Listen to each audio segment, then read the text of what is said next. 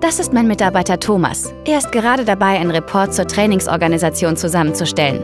Gar nicht so einfach, wie Sie sehen können. Es kostet viel Zeit, die Zahlen und Fakten managementtauglich zusammenzustellen.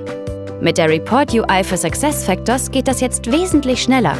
Mit Suchfunktionen und Filtermöglichkeiten direkt im Bericht sowie Dashboards und Charts, die an unsere Bedürfnisse angepasst sind. Genau das, was ich für meine Entscheidungen brauche. Berichte war noch nie so einfach.